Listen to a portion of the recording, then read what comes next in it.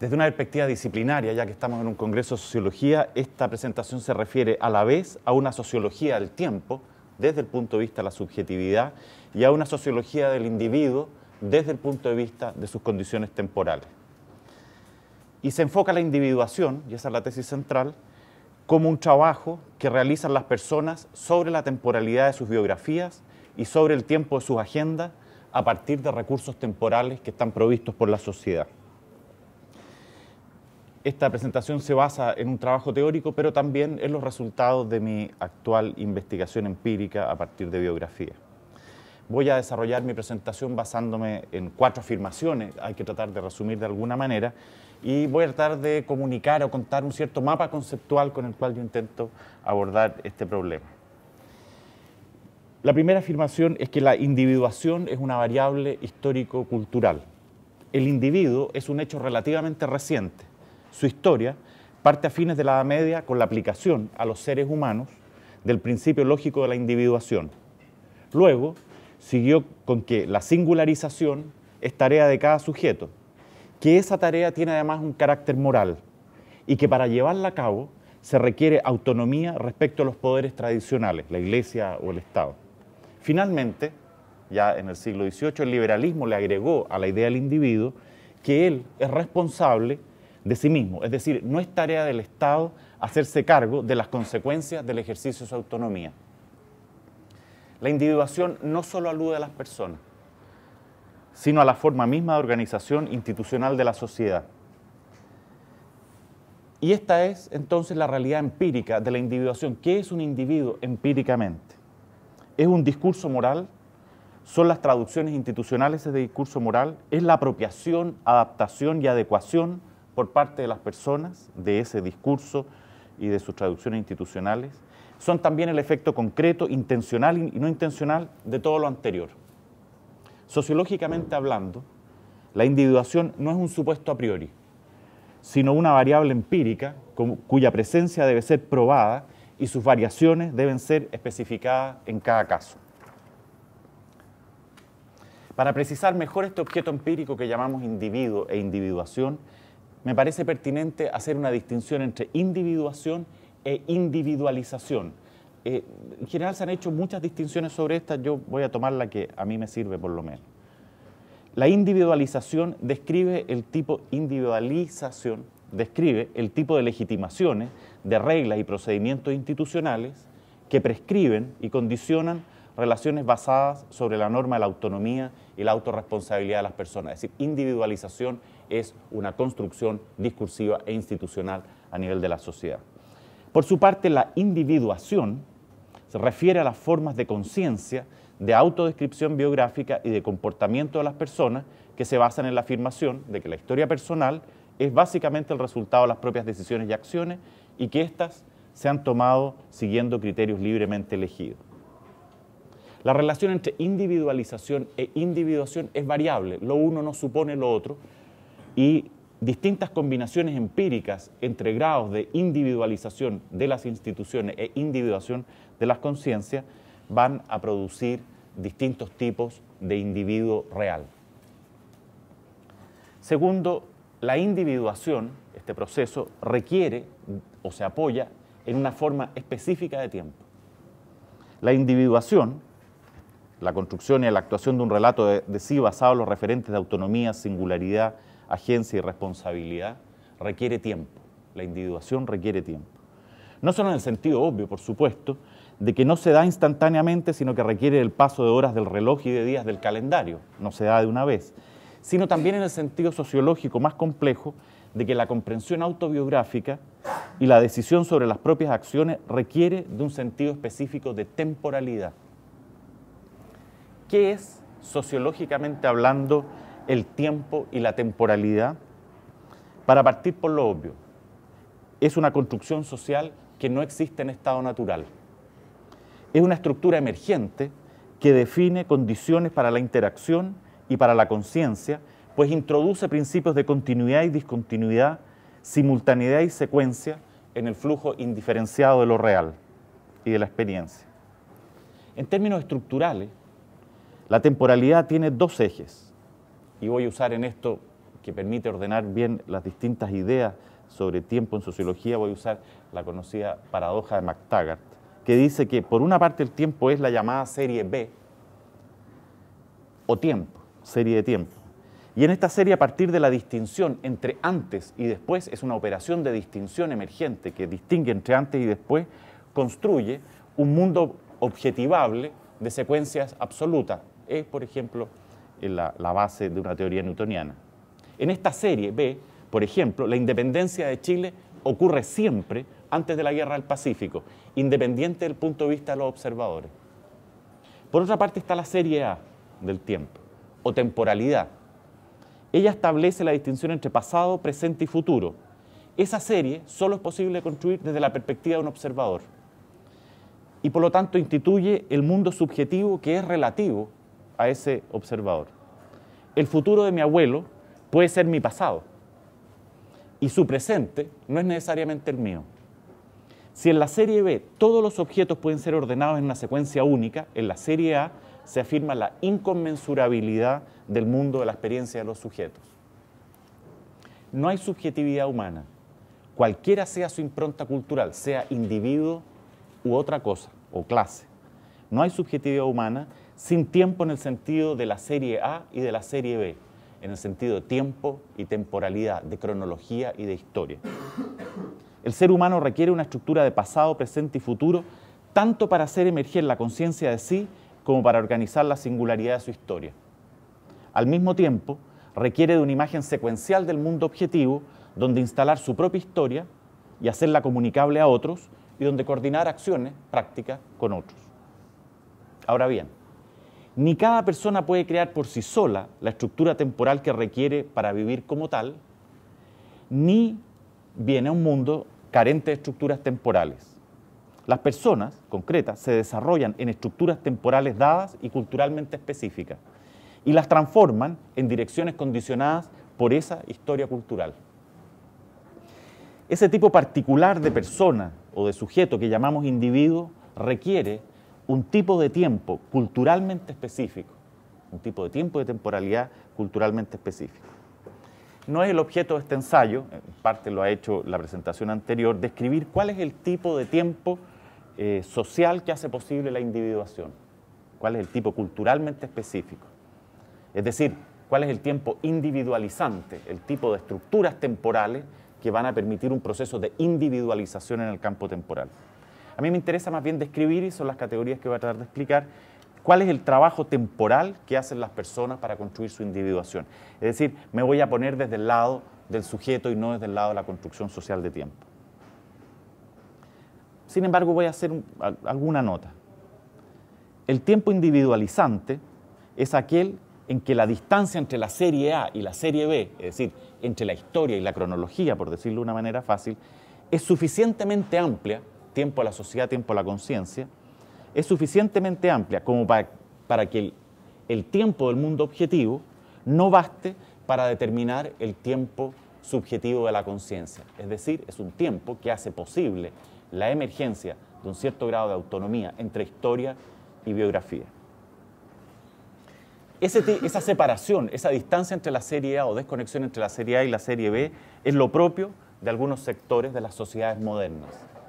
Solo en la modernidad se conoce tal distancia entre la serie A y la serie B del tiempo, o entre historia y conciencia. Y esto tiene varias consecuencias de la perspectiva de la individuación. La primera es que ser individuo supone trabajarse una temporalidad propia dentro de las estructuras temporales de la sociedad, porque las estructuras temporales de la sociedad no bastan para determinar la temporalidad que permite la emergencia de la conciencia. La segunda consecuencia es que esto no solo es posible, este trabajo de los individuos, no solo es posible porque haya estructuras temporales de la sociedad que favorecen la individuación y entonces el individuo se acopla a ella, sino también porque las incoherencias de los marcos temporales de la sociedad, vivimos en sociedades donde existen tiempos múltiples, esa incoherencia hace inevitable construir constelaciones o síntesis singulares para poder orientarse temporalmente. Tercero, esto significa que desde una perspectiva empírica, no solo existe aquel tipo de individuación orientada por un sentido positivo de autonomía y autorresponsabilidad, es el sentido normativo que a veces está inscrito en las temporalidades de la sociedad, sino que también existe una multiplicidad de formas de individuación que surgen como reacción adaptativa a la particularidad e incoherencia de los marcos temporales en que vivimos. Es decir, la individuación es un hecho empírico que no puede entenderse exclusivamente desde las orientaciones normativas de la idea de autonomía.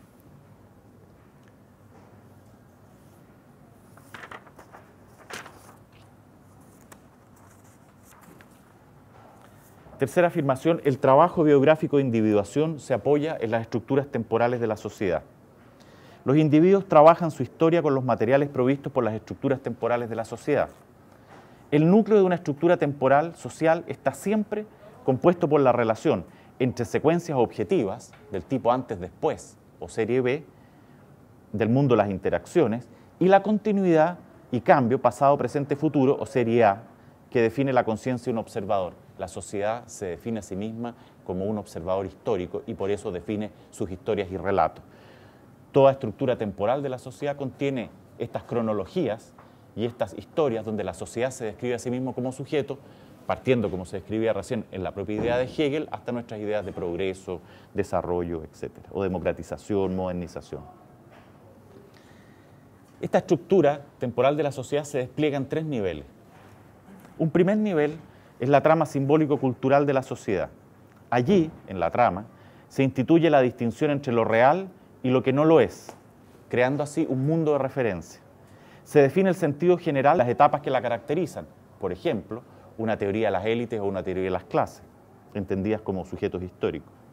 También se establecen en este primer nivel simbólico las marchas cronológicas de la definición objetiva del mundo, es decir, qué tipo de ritmos y calendarios nos damos, así como las secuencias causales que hacen de este mundo una naturaleza dinámica. Primero está el calor, después hierve el agua, por ejemplo, que es una determinación temporal de la sociedad.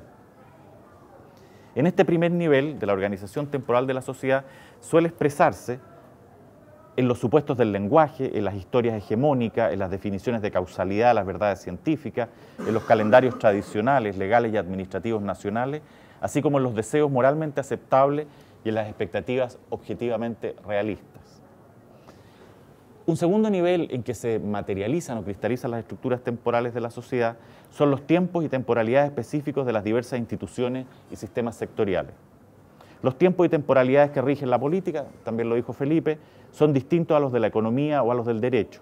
Y no es lo mismo el calendario y temporalidad de una comunidad minera de la cordillera que una de los pescadores de la costa. En este nivel se definen modelos de sujeto acorde a las exigencias funcionales y a las temporalidades de cada ámbito. Esto es lo que entendemos por planes de vida o currículum, más o menos institucionalizados, los que definen, por ejemplo, las etapas y los calendarios que han de cumplirse para llegar a ser un general, o un sacerdote, o un jugador de fútbol exitoso, una madre, una ingeniera o una senadora. Los planes de vida son modelos de sujeto temporalmente secuenciados y cronologizados que sirven de soporte social para el trabajo biográfico de los individuos. Un tercer nivel se manifiesta en que se manifiesta la estructura temporal de la sociedad es la organización de las prácticas. Es decir, aquellas formas de acción y de subjetividad que no están formalizadas institucionalmente, pero que operan por la fuerza de su rutinización y de su eficacia práctica inmediata. Forman parte de este nivel de la estructura temporal de la sociedad, por ejemplo, las prácticas de uso y significación del tiempo libre, los calendarios y los rituales de las elecciones de pareja, de la formación de familia y de crianza de los hijos, las prácticas del crédito informal, por ejemplo las cronologías y etapas de los proyectos cotidianos, por ejemplo, como las dietas, los ahorros, las terapias, son todas estructuras temporales prácticas, ampliaciones de la vivienda, etc. Cada una de esas prácticas tiene sus historias informales, sus cronologías, sus secuencias tradicionales y sus ofertas biográficas. La estructura temporal de la sociedad es una de las cajas de herramientas con las cuales los seres humanos trabajan su constitución como individuos. No es la única, hay otra gran caja que se llama el espacio, pero aquí estamos hablando del tiempo. Pero esa caja de herramientas no es coherente, sino que está llena de incongruencias. Los grados y planos de las coherencias e incoherencias de las estructuras temporales de la sociedad son efecto de las relaciones de poder, así como de las consecuencias no intencionales de los cambios sistémicos de la sociedad. Lo importante es que ellas son la caja herramientas realmente existente con la cual las personas deben trabajar el lado temporal de su individualidad. De esta manera, el condicionamiento provocado por la temporalidad social es doble. La incoherencia de los marcos sociales es tan individualizante como la cultura de la individuación. La sociedad condiciona las posibilidades temporales de construcción de individualidad, no solo porque tiene una institucionalización de la idea moral de individuo, sino que porque las propias incoherencias fruto del poder en las estructuras temporales condicionan la, la singularización de las biografías. Y esto es lo que explica por qué la individuación, por lo menos del lado de sus estructuras temporales, no puede explicarse desde una teoría normativa del individuo. Cuarta y última afirmación, el trabajo temporal de los individuos se realiza en dos planos y, mediante tres procedimientos. El trabajo temporal de individuación consiste en elaborar un sí mismo personal y socialmente satisfactorio en términos de su consistencia cronológica, serie B, y temporal, serie A. Esto es, por una parte, elaborar un relato a la continuidad de sí en el cambio, una memoria del pasado propio y un deseo de futuro personal y por la otra, coordinar ese relato personal con la imagen socialmente predominante de las secuencias causales, de las finalidades morales y el orden cronológico del mundo que está definido como objetivo. La relativa coherencia entre ambos planos, si se logra, entre el plano de la biografía y el plano de la historia del mundo objetivo, permite la comunicación del sí mismo en el horizonte lingüístico de la sociedad. Eso hace que sea aceptable en los marcos morales de la sociedad y lo hace además coordinable al interior de la trama cronológica de las interacciones con los demás. Actuamos en sociedad como biografías, no solo como actores puntuales. El punto de partida del trabajo, del trabajo en el plano biográfico es la reflexividad, que exige y permite organizar un sentido capaz de afirmar un sí mismo que persiste más allá de los cambios. Esta conversación interior, como puede describirse la reflexividad tiene dos momentos interdependientes. Primero, interpretación. Es el acto de situar los presentes vividos en el transcurso, es decir, temporalizarlos. Hacerse biográfico es temporalizarse. Para eso se le asigna un contexto de significación subjetiva mediante su referencia a un pasado, la memoria, o al futuro, que es expectativa y deseo. Y una posición antes-después de ese presente en el orden del mundo. Segunda, tarea es la narración. Es el acto de comunicar a otros, mediante la gramática del lenguaje la gramática de los cuerpos y de las prácticas, el sí mismo que se ha elaborado y obtener su reconocimiento o cuestionamiento. Pero el reconocimiento de la biografía en el orden de la sociedad no es automático por el solo hecho que nosotros usemos estructuras temporales compartidas. De hecho, debe ser negociado al interior de campos de poder. La singularidad biográfica, tal como la innovación en cualquier campo, es siempre un efecto emergente que produce una alteración mayor o menor de los marcos sociales con los cuales se gesta. Ello pone en movimiento fuerzas de resistencia, cambio, disciplinamiento adaptación respecto a los otros personales e institucionales de los cuales uno espera reconocimiento simbólico y práctico. El trabajo biográfico implica entonces, en su dimensión temporal, una lucha por el tiempo. Lucha en el plano de la temporalidad acerca de la legitimidad y plausibilidad de las memorias y de los deseos y expectativas que uno intenta proponer.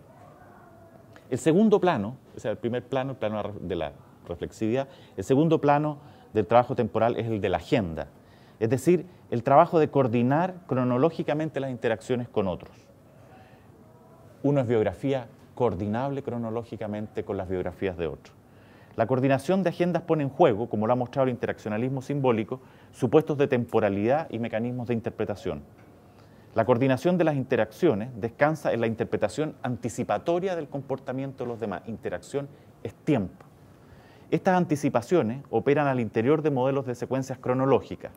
Los, códigos legales, por ejemplo, o de procedimiento administrativo, los horarios de trabajo, de la escuela, son modelos de anticipaciones cronológicas. Al interior nosotros construimos nuestra agenda. Los planos de la agenda y de la biografía. La agenda es esa cosa que andamos trayendo todos, uno en papel, otro en el computador, mediante el cual nosotros organizamos nuestras actividades y coordinamos con las actividades de otros. Agenda y biografía son interdependientes. Una agenda